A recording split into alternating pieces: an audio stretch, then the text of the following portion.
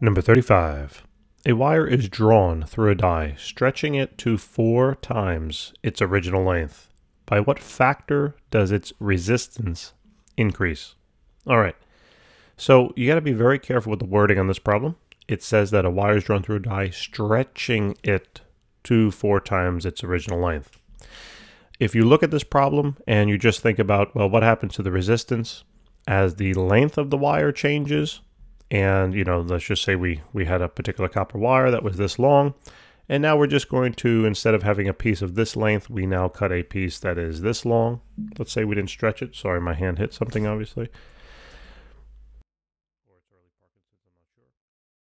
Right. So r is going to be equal to right the resistivity times the length divided by then the cross-sectional area and this is 4l then so uh, if l just goes up by 4 right, then this goes up by 4 and the resistance would increase by 4 times.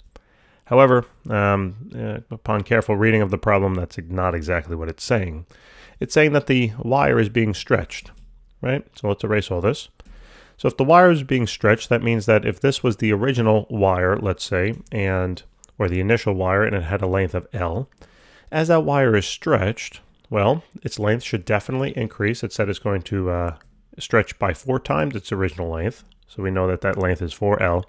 But we also know then that the cross-sectional area, right, the cross-sectional area right in here, right, the cross-sectional area here will be different from the original cross-sectional area.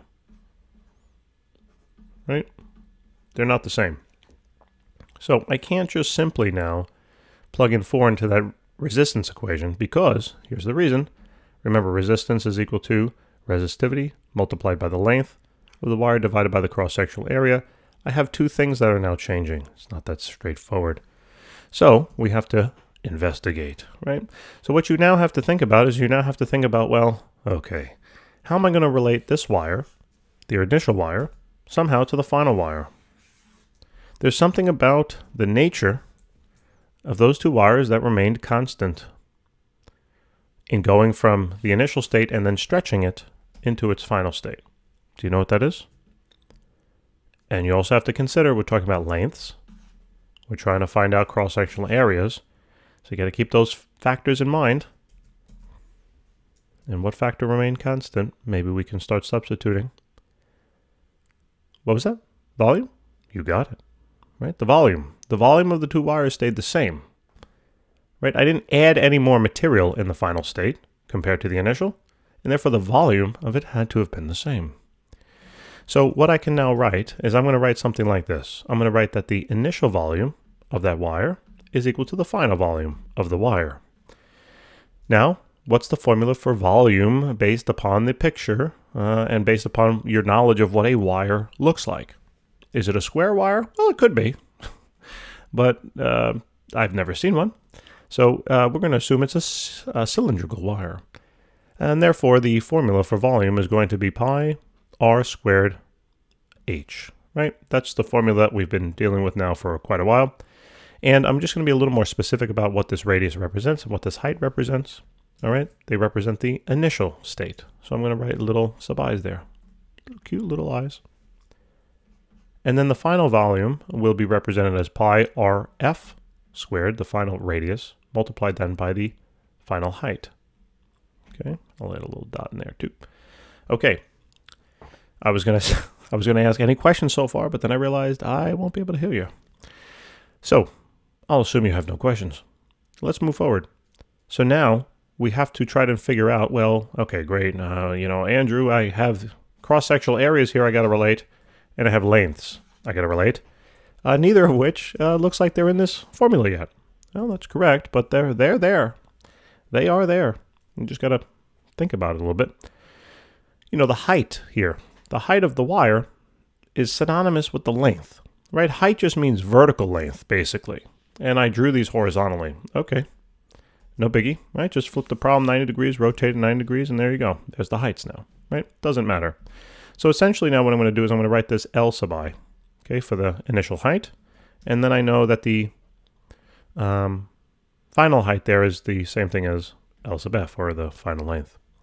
Now, Where's the cross-sectional area? You might say, well, I know area, you know, uh, okay, I got a radius in there, and here's a radius, so maybe they're related. Well, watch this. What's the area, cross-sectional area here of the wire? Remember, the shape of it is a circle, right? So what's the area of a circle? Area of a circle is pi r squared, right? Wait a minute. Pi r squared? Wait, this is pi r squared, and that's pi r squared. Wait a minute. Are you telling me? Are you telling me that this term right here is simply the cross-sectional area of the wire? And what we do when we find the volume of a wire is we simply take that cross-sectional area of the wire and multiply it by the length? Yes, that's exactly what it is. So same thing goes here, right? Same thing goes for that. So this is just the final cross-sectional area. Okay, this whole term right here. So now, oh my goodness, right? There it is. This is the formula now that relates those four variables. Okay? So the initial area, the initial cross-sectional area, I don't know, right? I just label it A sub i, no big deal. The initial length, I don't know, I label it L sub i, no big deal. The final area, I don't know also, so I label it that. And the final length, we know we called it, remember, 4L, okay? 4L. So maybe what I'll do here is I should really start dropping this subscript, all right? Because otherwise, if we don't, we might not see that they're the same. So let me just explain it right? This, this L here represented the uh, initial length.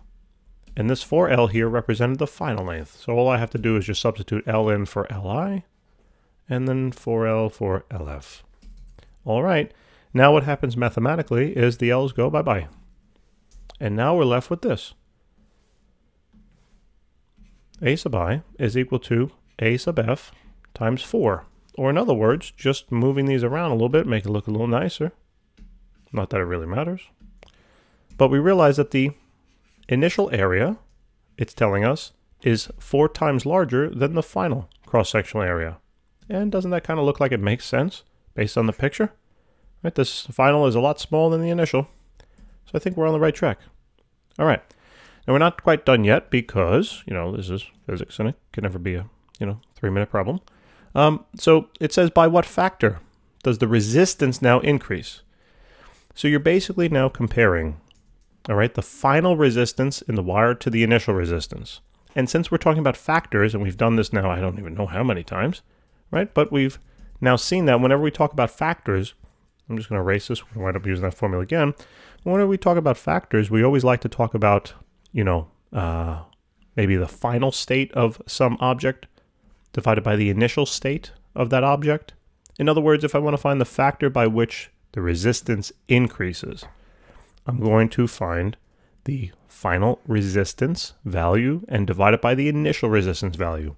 Right, if the final value were 100 and the initial value were, let's say, 50, how much did the resistance increase by? Or how much did, what, by what factor did it increase by? Well, 100 divided by 50 is 2. So it increased by a factor of 2. That's the whole idea. Now, obviously, we don't know these values, but we know formulas that relate to them. Remember, we just did this. That resistance, the final resistance, therefore, is going to be equal to the uh, resistivity multiplied then by the uh, uh, final, excuse me, length divided then by the uh, final cross-sectional area. And I'll move that up a little bit. Now we're going to get fractions inside fractions. I feel like I'm in Inception right now. Um, but, you know, we're going to try to simplify this a little bit. So this is then the initial divided by the initial uh, cross-sectional area. All right. Now, whenever you have a complex fraction, um, why don't we first just, uh, you know, multiply then the top fraction by the reciprocal of the bottom fraction? So in other words, we can simply now take this, that RF over RI will be equal to, rewrite this fraction on top, just like you see it, and then multiply it by the reciprocal of that denominator. So literally just do a little flipsy. Okay. Now what I'm going to do, that I this looks a lot nicer, now I'm going to start substituting in things that I know. So, and start canceling things if I can. So I know the rhos go bye-bye, right? See you later. LF, what did we say that that was? LF we said was 4L, right? The final length was 4L. What was the final then um, cross-sectional area? So what you can do here now is we can simply now, if you wanted to, we could solve, you know, this equation for A sub f, meaning the final cross-sectional area, but we, we just leave it alone actually. Just leave it alone. Don't don't worry about that. Just leave it as A sub f. You'll see what's going to happen. And then multiply that by now the original cross-sectional area. Now remember, you can leave it A sub i, but we have a formula here that relates the two. In other words, remember we, we mentioned that the original cross-sectional area is four times larger than the final. So what I'm going to do here is instead of plugging in the initial cross-sectional area, I'm going to write 4 times a sub f, meaning 4 times the final cross-sectional area.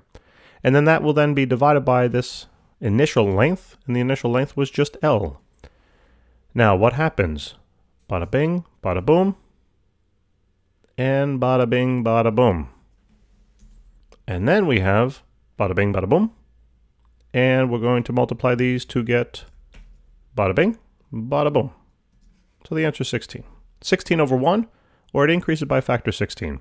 Guys, thank you so very much for tuning in. I appreciate it. Please remember to help us out and subscribe. We really appreciate it so much. And uh, we thank you very much for watching, and we will see you soon. Take care.